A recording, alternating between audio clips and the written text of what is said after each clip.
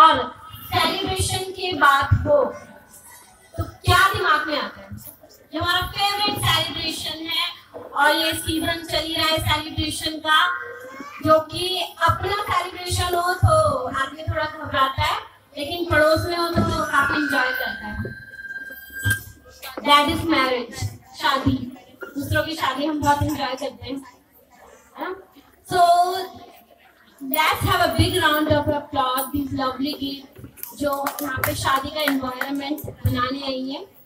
तो please have a of applause